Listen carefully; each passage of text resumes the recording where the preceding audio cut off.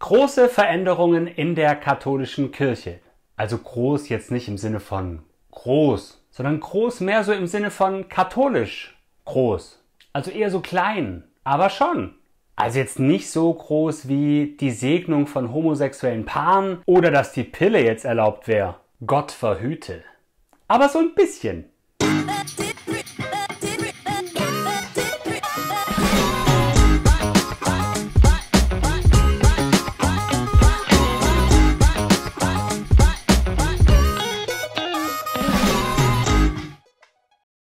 Erstmals ist mit Beate Gillis eine Frau an die Spitze des Sekretariats der Deutschen Bischofskonferenz gewählt worden. Das ist eine gute Nachricht. Die hat den Job ja hoffentlich wohl aufgrund ihrer Kompetenz und nicht aufgrund ihres Geschlechts bekommen.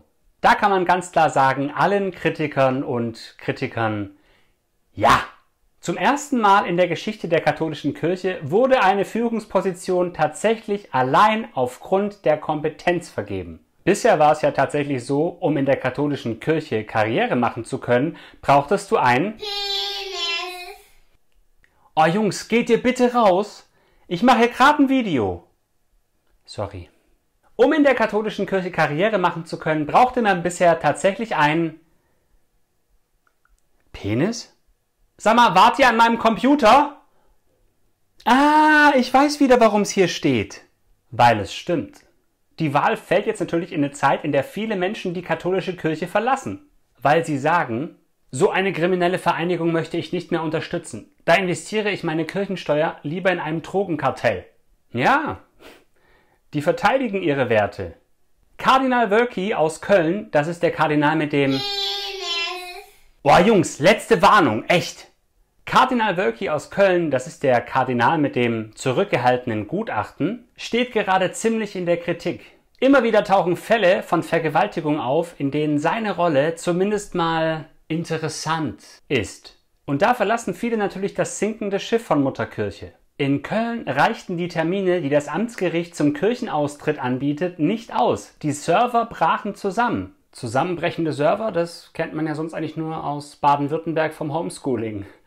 Man kann es den Leuten auch gar nicht verübeln, dass sie austreten. Wenn man sieht, was nicht nur in mittelgroßen Gesamtkirchengemeinden, sondern auch in den Chefetagen deutscher Bistümer gnadenlos an den christlichen Werten vorbei entschieden wird. Und da ist die Wahl von Beate Gillis für die Kirche natürlich eine gute Nachricht. Die Meldung war überall, in den Zeitungen, in der Tagesschau, und man konnte ein bisschen ablenken von dem ganzen Schlamassel um vergewaltigende Priester und die Vertuschung ihrer Taten. Eigentlich ganz schön clever.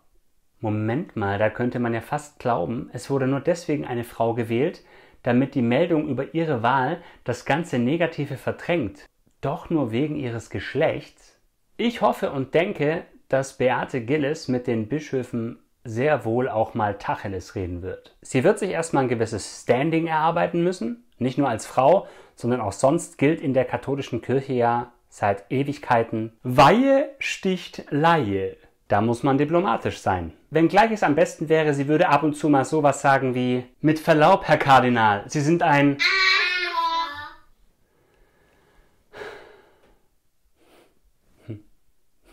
Kinder.